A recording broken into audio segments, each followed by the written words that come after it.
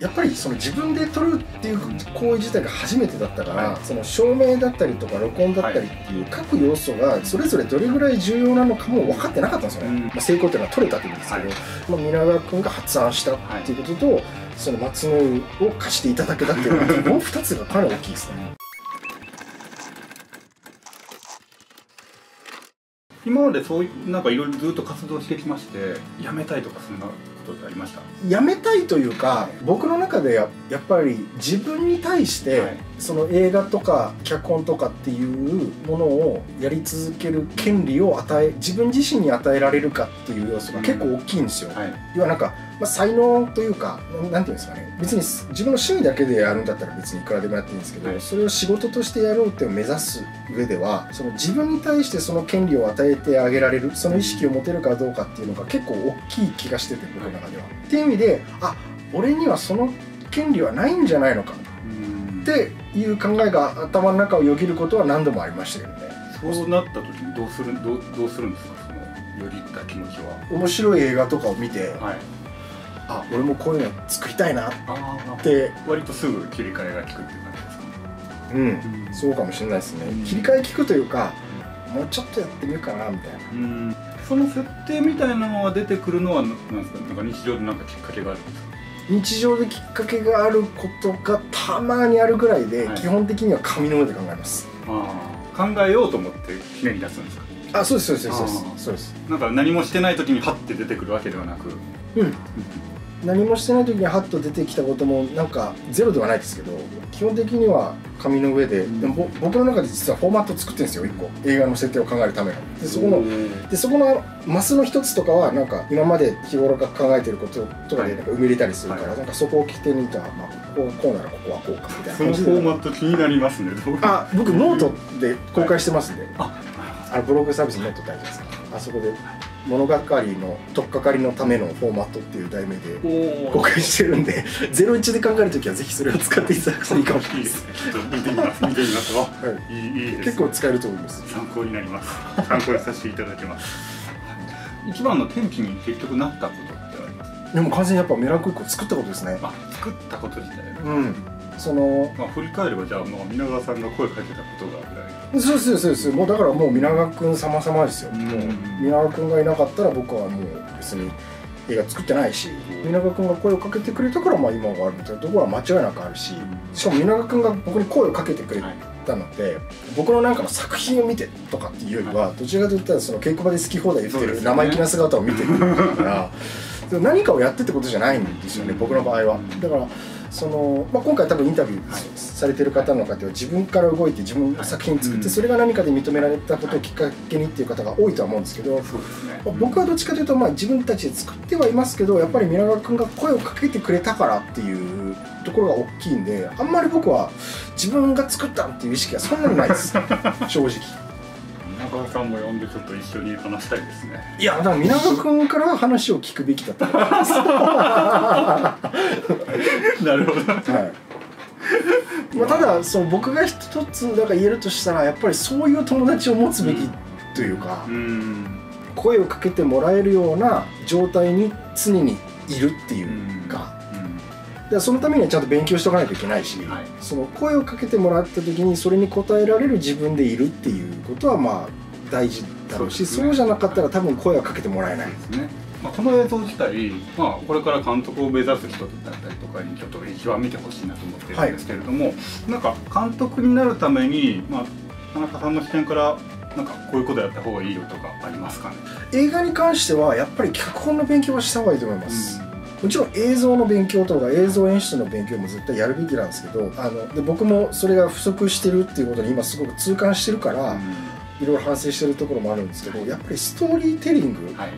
の手法自体はなかなか得るのが難しいからこそ得たら価値があるもの、うん、でやっぱり今綺麗な映像を撮るっていうことがすごく今手軽になりつつある時代だから、はい。はい、その映像だったりとかで差別化するってもうプロの人たちが上の方でやってることだったりするじゃないですか、はい、だから脚本とかストーリーテリング自体は金がなくてもいくらでも勉強ができるし、はい、でそれができる人はやっぱり今後絶対強いから脚本の勉強をした方がいいと思います、ストーリーテリングの勉強ですねでそれ以外は映画に関係ないところ言うとややってみた方がいいことですよね、はい、僕なんかの本で読んだことがあるんですけど、はいはい、映画監督もしくは脚本家で小説の作家さんと違っておしゃべりな人が多いっていうのを見たことあるんですよ。そうかもしれないですね。うんっていうのは小説家の方は喋られてますからね今もそうで小説家の方って全部一人で最後まで仕事が完結するから、はい、もうずっと変わり者でもやれるんですけど、はい、映画監督って他の人と協調してやらなきゃいけないし、あと何よりも紙の上で人と人の会話を書かなきゃいけないから喋、はい、り慣れてる人の方が実は映画って作りやすいって書いてあって、まあ、確かにその、まあ、多分偏屈な映画監督さんっていっぱいいると思うんですけどおそらくこれからの時代は人とうまくコミュニケーション取れる人じゃないと作りづらいんじゃないのかなとは思ってますね。人とのコミュニケーションを結構大事に。だから人と仲良くできる人、うん、あと他人のことを尊重できる人、うん、キャストスタッフとのコミュニケーション必須ですもんね。メランコリックを経てまあいろいろなんか考えることもあると思うんですけどなんかこういうことをなんか監督するときに心がけた方がいいとか心自分は心がけてるとかメランコリックの時に心がけたのはもう第一プライオリティは、はい、あの関わってる人がこの作品はきっと面白くなりそうだっていう期待感をずっと持ててる状態で現場に参加できることなんですよ、うん、具体的に何ですこの作品面白くなりそうだって思えてる人間をまず自分が演じますよね、うん、まず自分監督がそうじゃないそういう、はい、はい、はい、自信を持ってる感じにあるとか、はいみんなの顔色を伺いながらやるとかですか？ね、具体的になんかアプローチしたりするまあ正直現場では必死すぎてあんまりアプローチが足りてなかったところもあると思いますけど。不安を感じてる人が質問とかしてきたら？結構舞台で鍛えられた人が今回多かったから、はい、割と不安でここどうやったらいいか全然わからないですみたいな人はいなかったんですけど、うん、だからそういう意味では監督としてとしてすごくやりやすい現場ではありましたけど、はい、まあ、だからこそ面白くないと思われたら終わるなと思ってたんで。ちゃんとだから演出する時の言葉とかかなやっぱり、そのその人の役者さんの中で一番面白くなるイメージが持てるような言葉をかけるってことはや,、なんかやっぱり意識したことかもしれないですね。こういうふうにやってくださいっていう、まあ、よく振付演技とかやったりしますけど、はい、っていうよりは僕があのよく例え話とか使うんですけど、はい、こういう例え話とかで伝える時の一番いい効用って、はい、それを受け取った人が自分の中で一番面白い形でイメージをしてくれるから、うん、その人の中で多分テンションが上がるんですよ。うんでそういう言葉の使い方をするっていうのは多分意識はしましたね。全体の流れの中でやっぱ撮影が一番好きだったりします？企画が一番好きです。あ企画が一番好きなんです、ね、はい。あの今一番まだ減点されてない状態というか。だんだん減点されてくる。そうです。そうです。それ公開した後はまたプラスになっていくんですか？自分の中で。あ映画の評価ですか？はい。あしますします。編集直後が0点になっててだんだんだんだんだんだん。そうですねあの今でも思い出しますけどその出来上がってポスト投函するじゃないですか、はい、でその次の日とか次の次の日ぐらいにあのちゃんと綺麗な状態で焼いたブルーレイを持って、磯崎君のお家に集まるわけですよ、はい、で僕と磯崎君と皆川君とあと磯崎君の奥さん。でその4人であの磯崎君ちょっとテレビで見たんですけどその時の微妙な空気感。微妙な空気感。そうなんです。やっぱり役者さんって皆さんそうみたいですけど自分が出てるとあんまり客観的に見れないみたいなところがあるらしくて、だから見た時もやっぱりなんか冷静な目では見れないらしいんですよね。磯橋さんの奥さんは結構違う視点があるじゃないですか。見終わってどうだったって聞いた時にまず宮川君が「おお面白いと思うよ」で磯崎も「まあでも自分が出てるからな」っつってっていう空気の中、うん、面白かったしか言えない空気になってるんですよ。で彼女すごく優しい子だからなんか「うん面白かったよ」って言ってくれるけどなんていうのかな。あまあお世辞をありがとう。なんか嫌ですね。そうだだからその、仲間内だけで見た時はその0点の状態が、なんていうんですか更新されず。で東京国際映画祭通りましたっていう時にあれ？ちょっと面白いのか？ちょっと上がるじゃないですか。で東京国際映画祭の上映が決まってすぐぐらいにあの、まあ、知り合いとかも呼んで、はいはい、あの上映会をしたんですよ、完成品の試写会みたいな、うん、でもちろん映画に関わってくれた人もそうだし、その知り合いとかも呼んで、はい、まあえっ、ー、と2日に分けて4回くらい上映したのかな全部で。でそこですこぶる評判が良かったんですよねみんなそこでじゃあようやくこう。あそうだ上がって。そうですそうです。でその多分ご経験あると思うんですけど知り合いに自主映画作ったから見に来てって言われた時の期待感のなさってあるじゃないですか。はい。まあ。まあまあまあ。撮ったのもねみたいな。見に来た人も多分絶対そういうテンションで来てたと思うんですよ。うん。友達の自主映画地雷の予感しかしないまあまあエンドロール終わった後ポカーンって。でまあそのまあでも自主映画ってこういうもんだよねみたいな。っていうのを多分超えてたらしくて。でそれですごいみんなが面白い面白いって言ってくれたからその時にちょっと上がったかな。東京国際映画祭のもあって。0点の期間割と長かったですよ。ダメだな。いつどのタイミングで会社員に？えっとねワングースを結成した後だったかな確か。あじゃあ割と2017年ですね。それまではその携帯電話会社のコールセンターとかで、はい。あのバイトをしながらはい。帰ってたりしたんですよ。ああじゃあまあせ生計をどうやって立てたかっていうとまあそういったバイトをしそうながらそうそうそうそうそうそうでもう結婚はしてたんで、うん。であの2017年のはい。奥さんの妊娠がはい。発覚したのと同時にうん。働き始めましたね、なかなかじゃあ働きながらでもやっぱ見切れって結構な根気がいるような気がしますね。体力というかうーん。その後家族の理解とか。まあそうですねそれもあり気を完全に潰しますしね。ああでもなるべく潰さないようにしてますよ今も。おおだから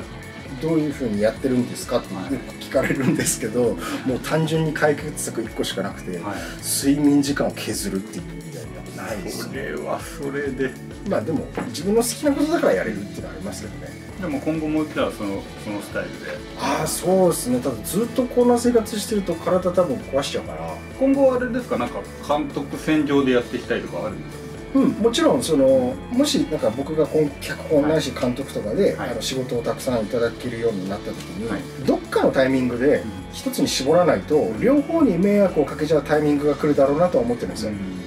映画とか脚本に絞ろうかな作品のなんかの体制によってはもう土日だけだともうできなくなっちゃう。そうそうもちろんいきなりで会社側は、まあ、ベンチャーです僕、はい。あの理解のあるはい。ところなんで、はい。あの別に辞めなくても休職っていう形でもいいよとは言ってくれてるんですけど、はい。まあでも、まあ、分かんないですねまだ、うん。はい。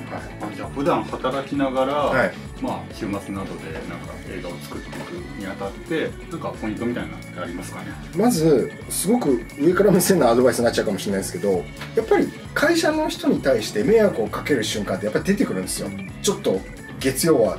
眠かったりとか、まあ、それこそ夜に作業してたら昼眠いとか。っていう時に映画を作ってるからすいませんって言い訳をせずにちゃんと本業の方もちゃんと頑張るってことをやるっていうのは超大事です。だから会社に対して会社からの自分の信用を落とさないっていうのはもうこれは本当に多分大事にした方がいいんですよ。でもなんでかっていうと会社の理解を得られてないとずっと肩身の重い狭い思いをしながら映画を作らなきゃいけないんですよね。で実は僕、まあ、ベンチャーだからっていうのもありますけどすごく、まあ、応援してくれてるし去年とか映画祭でに呼ばれていくとかではい。会社を休むっていうはい。こともうん。全然受け入れてくれたし、うん。そういうことをやれたのはやっぱりちゃんと会社の時間もちゃんと働いてたからっていうのがあるんで、うんまずそこを一番大事にした方がいいかもしれないですね、うん。働きながら監督をする場合はでもう一個は今もそうですけど働いてしかも子供もいてとかで独身の人とかに比べたら多分映画を見る本数だったりとか、本を読む数だったりとか、はい。そのインプットに避ける量時間っていうのがすごく下がるんですけど、はい。い、かにそれを言い訳にせずに頑張るか。はい。はい。っていうのがはい。大事な気がしますね、その制約がある状態でもちゃんと求められたら、まあ、それこそ僕の場合は皆川君とかでしたけど求められた時にちゃんと求められた以上のものを返すっていうこと。期待に対して期待以上で応えるっていうことをサボらない。っていうのはすごく多分大事ですね。自分の代表作だったりとか世間的に認められる作品をまだ作ってない状態で誰もその自分の価値なんて認めてくれてないっていう前提で多分やる必要があって、一番近くに例えばそれこそ皆川君だったりとかもし会社もそうですけど、何かこういうことをやってほしいって言われた時に求められたことにプラスアルファして返すっていう一番当たり前のことをやって信用を稼いでいかないと映画は多分作れないとは思いますね。そ理解を得られないとそうですよね。ずっと気持ちも後ろめたいですし後々いろんなことが出てきたとはい、で別にそう自分あの人の名前を具体的に言うわけじゃないですけど、うん、自分の才能に自信があってでも周りは別にそれをまだ気づいてないっていう時に、うん、自分の才能だけに頼って作品を作ろうとすると、うん、現場とかで人間関係が崩壊するんですよ、そうすると映画作れなくな継続的には作れなくなっちゃうから一作品作れても。だから働きながらやろうと思った時には多分そういうことも大事にした。だから常識的な人間であれっていうことかもしれないですけどね、はい、割と大事ですね、うん、一部の天才だけですよね。あの人に迷惑かけているのは、うんうんそこをやっとくとなんか気づかないところで別のなんか協力が得られるかもしれないですよ、それもあります、ね、それが映画につながるかもしれないですね、うん、そうそう。まあなんか昔は僕常識人であるってことにコンプレックス持ってたんですけど、えー、常識人でよかったな私あんまり常識人じゃないです。じゃあちょっと最後に、はい、あのもう重複するかもしれないですけどまあなんか映画を今後作りたい人に対してなんかメッセージをカメラ目線でいただければと。あえーと、すごく今映画が、まあ、もちろんコロナとかありますけどそのお金的なもしくは機材的なもしくは環境的な意味ではすごく誰でも映画を作りやすい、えーと、時代にはなってると思うので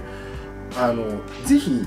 長編を1個作品として書き上げるもしくは撮り終えるもしくはし、えーと、編集し終えて完成させるっていうことを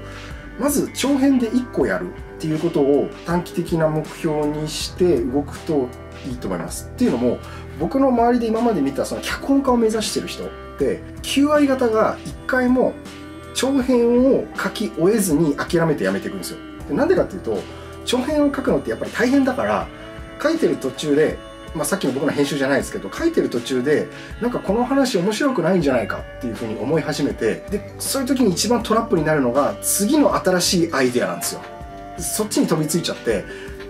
せっかく書きかけた長編を途中でやめてそっちの新しいアイデアに飛びついてでもそれもまたちょ完成させられずに次のアイデアに飛びついてっていうのを繰り返して